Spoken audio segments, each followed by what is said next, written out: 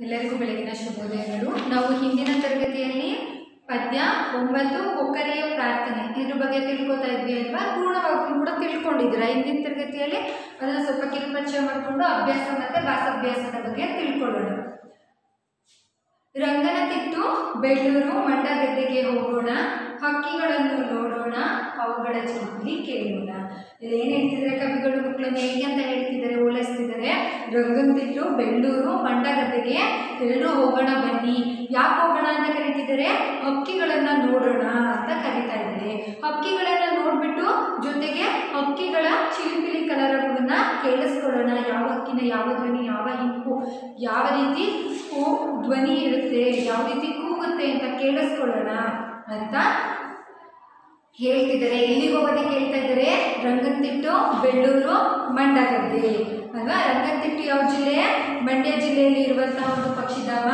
ಬೆಳ್ಳೂರು ಕೂಡ ಮಂಡ್ಯ ಜಿಲ್ಲೆಯಲ್ಲಿ ಇರುವಂತಹ ಮದ್ದೂರು ತಾಲೂಕಿನ ಬೆಳ್ಳೂರು ಅಂತ ಊರಿನಲ್ಲಿರುವಂಥದ್ದು ಒಂದು ಪಕ್ಷಿಧಾಮ. ಮಂಡಗದ್ದೆ ಅನ್ನೋದು ಶಿವಮೊಗ್ಗ ಜಿಲ್ಲೆಯಲ್ಲಿರುವುದು ಶಿವಮೊಗ್ಗ ಶಿವಮೊಗ್ಗ ಜಿಲ್ಲೆಯಲ್ಲಿರುವಂತಹ ಒಂದು ಪಕ್ಷಿಧಾಮ, ಅಲ್ವಾ? ಯಾವುದೋ ದೇಶದ ಒಂದು ಕೊಕ್ಕರೆ ಇಲ್ಲಿಗೆ ಬರುತ್ತೆ. ಇಲ್ಲಿಗೆ ಮಂಡಗದ್ದೆ ರಂಗನತಿಟ್ಟು ಬೆಳ್ಳೂರು ಇಂಥ ಸ್ಥಳಗಳಿಗೆ ಬರುತ್ತೆ. ಇಲ್ಲೋ ಇರುವಂಥದ್ದು. ಕೊಕ್ಕರೆಗಳು ಏನು ಮಾಡ್ತವೆ? ಇಲ್ಲಿಗೆ ಬರ್ತವೆ. ಅವು ನೋಡೋಕೆ ಹೇಗಿರ್ತವೆ ಅಂದರೆ ತುಂಬ ಬೆಳ್ಳಗಿರುತ್ತೆ. ಅವು ಯಾವುದೇ ರೀತಿ ಸೌಂದರ್ಯವರ್ಧಕವನ್ನ ಬಳಸೋದಿಲ್ಲ. ಅಂದರೆ ಕ್ರೀಮ್ ಪೌಡರ್ನ ಹಚ್ಚೋದಿಲ್ಲ.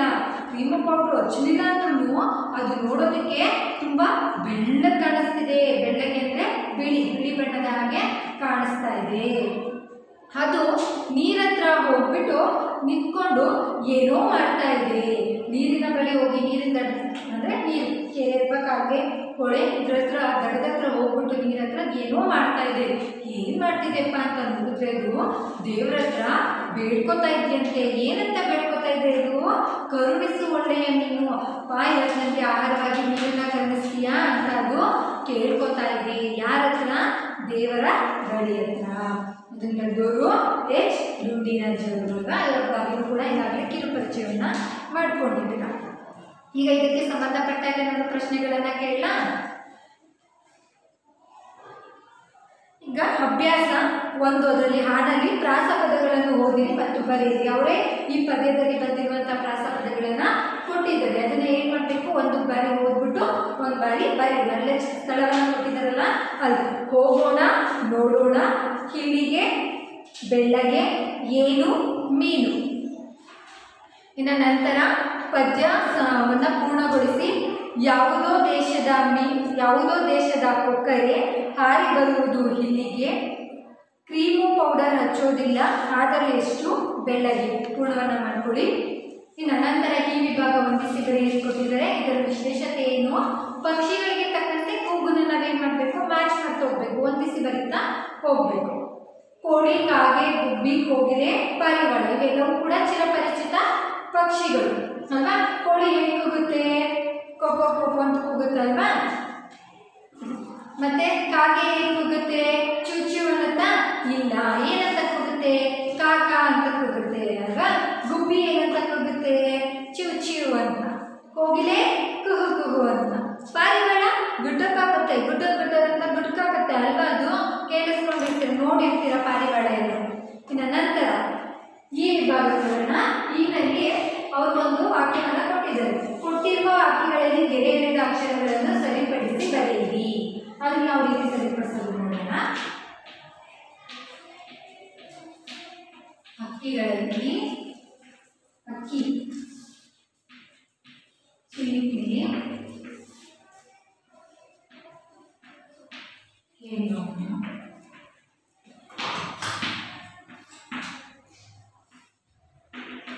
ಇದನ್ನ ನಾವು ಸರಿಪಡಿಸಬೇಕು. ನೋಡಿ ಹಕ್ಕಿ ಈ ಅಕ್ಕಿ ತಿನ್ನೋ ಅಕ್ಕಿ ಅಲ್ವಾ ಈ ಅಕ್ಕಿಯಿಂದ ಅನ್ನವನ್ನು ಮಾಡುವಂಥದ್ದು. ಅಕ್ಕಿ, ಈ ಅಕ್ಕಿ ಏನಾದ್ರೂ ಚಿಲಿಪಿಲಿ ಕಲರ್ ಅಕ್ಕಿ ಕೂಗುತ್ತಾ? ಹಕ್ಕಿ ಕೂಗದು, ಅಲ್ವಾ? ಹಕ್ಕಿ ನಾವಿಲ್ಲಿ ಯಾವ ಬರಿತೀವಿ ಯಾರೆಲ್ಲ ಬಹ ಹಕ್ಕಿಗಳಲ್ಲಿ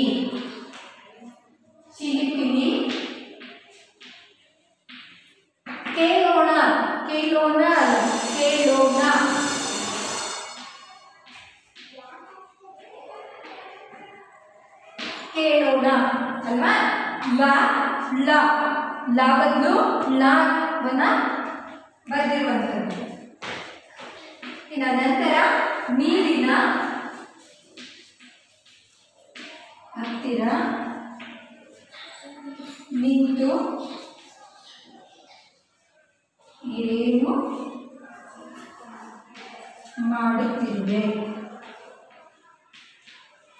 ಇಲ್ಲಿ ಯಾವುದು ತಪ್ಪಿದೆ. ನೋಡಿದ ತಕ್ಷಣ ನಮಗೇನೆ ಗೊತ್ತಾಗ್ಬಿಡುತ್ತೆ. ಅಲ್ವಾ? ಇದನ್ನ ನಾವು ಯಾವ ರೀತಿ ಬದಲಾವಣೆಯನ್ನ ಮಾಡಬೇಕು? ನೀರಿನ ಹತ್ತಿರ ನಿಂತು ಹೇನು ಹೇನು ಏನು? ಮಾಡುತ್ತಿರುವೆ. ಅಲ್ವಾ? ಯಾ, ಹೇ, ಎ ಎ, ಯಾರಲ್ಲ ಏನು ತಲೆ ಎನ್ನುವುದು. ಹತ್ತಿರ ಹತ್ತಿರ. ಅಲ್ವಾ? ಇದು ಮೂರನೇ ಪದ. ಸಾರಿ, ಮೂರನೇ ವಾಕ್ಯ. ಯಾವುದೋ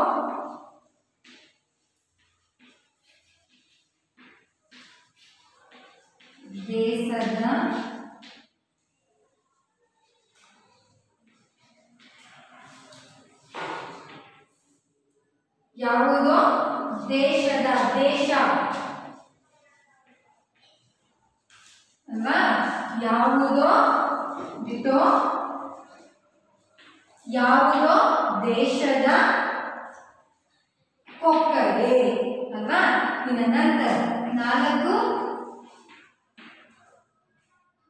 ಕರುಣಿಸು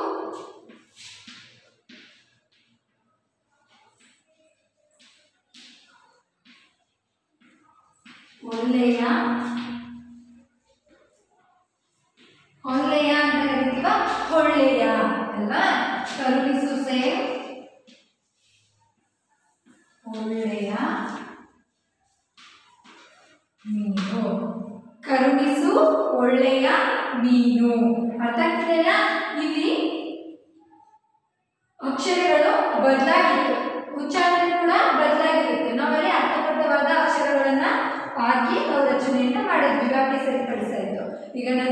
ವಿಭಾಗ ಬಿಟ್ಟಿರುವ ಸ್ಥಳವನ್ನು ಸೂಕ್ತ ಉತ್ತರಗಳಿಂದ ತುಂಬಿರಿ.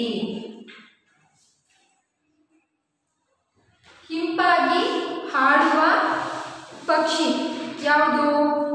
ಹಿಂಪಾಗಿ ಹಾಡುವಂತ ಪಕ್ಷಿ ಯಾವುದು? ಹೋಗಿದೆ ಅಲ್ವಾ? ರಾತ್ರಿಯಲ್ಲಿ ಹೋಗುವ ಪಕ್ಷಿ ಗೂಬೆ. ಅಲ್ಲೇ ಕೆಳಗಡೆ ಉತ್ತರಗಳನ್ನು ಕೊಟ್ಟಿದ್ದಾರೆ.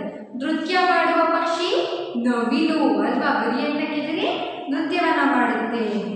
ಸುಂದರವಾಗಿ ಗೂಡು ಹೆಣೆಯುವ ಪಕ್ಷಿ ಗೀಚಿಗ. ಅದು ಎಷ್ಟು ಚೆನ್ನಾಗಿ ಗೂಡನ್ನ ಹೆಣೆಯುತ್ತೆ ಅಂದ್ರೆ ತುಂಬಾ ಚೆನ್ನಾಗಿರುತ್ತೆ. ಏನಾದರೂ ಗದ್ದೆಗಳಿಗೆ ಯಾರಾದರೂ ಹೋಗಿದ್ರೆ ಗಿಜಿಗನ ಗೂಡನ್ನ ತರಿಸ್ಕೊಂಡು ನೋಡಿ. ತುಂಬಾ ಮೃದುವಾಗಿ ಚೆನ್ನಾಗಿ ಸುರಕ್ಷತೆಯಿಂದ ಕಟ್ಟಿಸ್ಕೊಂಡಿರುತ್ತೆ ಕಟ್ಕೊಂಡಿರುತ್ತೆ. ನಂತರ ಒಂದು ವಾಕ್ಯಕ್ಕೆ ಬಂದಾಗ, ಪಕ್ಷಿಗಳು ಹೇಗೆ ಶಬ್ದ ಮಾಡುತ್ತವೆ? ಪಕ್ಷಿಗಳು ಯಾವ ರೀತಿ ಶಬ್ದವನ್ನು ಮಾಡ್ತಾವಪ್ಪ ಅಂತ ಅಂದ್ರೆ ಪಕ್ಷಿಗಳು ಚಿಲಿಪಿಲಿ ಶಬ್ದವನ್ನು ಮಾಡುತ್ತದೆ ಇನ್ನು ನಂತರ, ಕೊಕ್ಕರೆ ದೇವರನ್ನು ಏನೆಂದು ಬೇಡುತ್ತಿದೆ? ಕೊಕ್ಕರೆ ಒಂದು ಅಲ್ಲಿ ಏನಂತ ಬೇಡ್ಕೊತಾ ಇದೆ? ಕರುಣಿಸು ಒಳ್ಳೆಯ ಮೀನು, ಮೀನನ್ನು ಅಂತ ಅದು ಬೇಡ್ಕೊತಾ ಇದೆ ಇನ್ನು ನಂತರ, ಪಕ್ಷಿಗಳನ್ನು ನೋಡಲು ಎಲ್ಲಿಗೆ ಹೋಗೋಣ ಎಂದು ಕವಿ ಹೇಳುತ್ತಾರೆ? ಎಲ್ಲೇ ಹೋಗೋಣ ಅಂತ ಹೇಳಿದ್ರು? ರಂಗನತಿಟ್ಟು ಬೆಳ್ಳೂರು, ಮಂಡಗದ್ದೆ.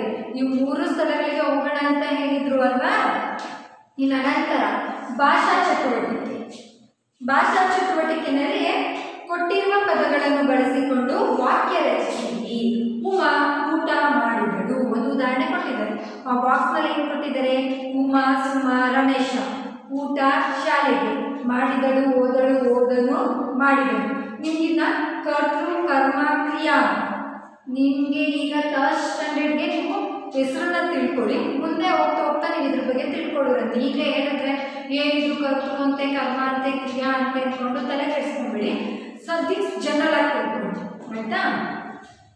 ನಾವಿಲ್ಲಿ ವಾಕ್ಯವನ್ನು ರಚನೆ ಮಾಡಬೇಕು. ಯಾವ ರೀತಿ ಮಾಡೋಣ? ಈಗ ಆಲ್ರೆಡಿ ಅವರು ಉಮಾ ಊಟ ಮಾಡಿದಳು ಅಂದ್ಕೊಂಡಿದ್ದೇವೆ. ನಾವೇನು ಮಾಡೋಣ? ಉಮಾ ಶಾಲೆಗೆ ಹೋದಳು. ಆಯ್ತಾ? ನಂತರ ಸುಮ ಊಟ ಮಾಡಿದಳು. ಸುಮ ಶಾಲೆಗೆ ಹೋದಳು. ರಮೇಶ ಊಟ ಮಾಡಿದನು ರಮೇಶ ಶಾಲೆಗೆ ಹೋದಳು. ಇವೆರಡೇ ಪದಗಳನ್ನು ಮಾಡಿದಳು, ಹೋದಳು, ಮಾಡಿದನು, ಮಾಡಿದಳು. ಈ ರೀತಿ ವಾಕ್ಯವನ್ನ ಜೋಡಣೆಯನ್ನ ಮಾಡ್ಕೊಳ್ಳುವಂಥದ್ದು, ಪದವನ್ನ ಸೇರಿಸ್ಕೊಳ್ಳೋದು ಅರ್ಥ ಆಗ್ತಿದೆಯಲ್ಲ ಇನ್ನು ನಂತರ ಆ ವಿಭಾಗದಲ್ಲಿ ಕೊಟ್ಟಿರುವ ಪದಗಳನ್ನು ಬಳಸಿ ಕವಿತೆ ಪೂರ್ಣಗೊಳಿಸಿ. ಆ ಕವಿತೆಯನ್ನು ಒಂದು ಕೊಟ್ಟಿದ್ದಾರೆ.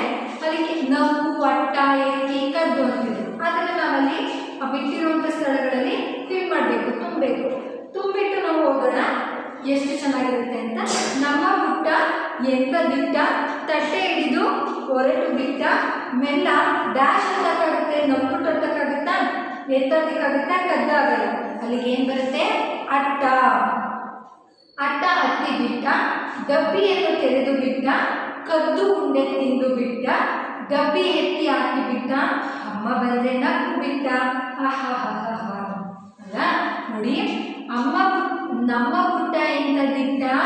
ತಟ್ಟೆ ಹಿಡಿದು ಹೊರಟು ಬಿಟ್ಟ? ಬೆಲ್ಲ ಅಟ್ಟ ಹತ್ತಿ ಬಿಟ್ಟ? ಗಬ್ಬಿಯನ್ನು ತೆರೆದು ಬಿಟ್ಟ? ಕದ್ದು ಉಂಡೆ ತಿಂದು ಬಿಟ್ಟ? ಗಬ್ಬಿ ಎತ್ತು ಹಾಕಿ ಬಿಟ್ಟ?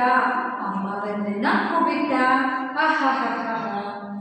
ಅಲ್ಲಿ ಒಬ್ಬ ಹುಡುಗ ಕವಿತೆ ತುಂಬ ಚೆನ್ನಾಗಿದೆ. ನಮ್ಮ ಪುಟ್ಟ ಎಂತ ಧೈರ್ಯವಂತ ಅಂದ್ರೆ ಅವನು ಅಟ್ಟ ಹತ್ತಿ ಮೇಲೆ ಬಾಕ್ಸ್ನ ಓಪನ್ ಮಾಡಿ ತೆಗೆದಿಟ್ಟು ಅಲ್ಲಿರುವಂತ ಉಂ-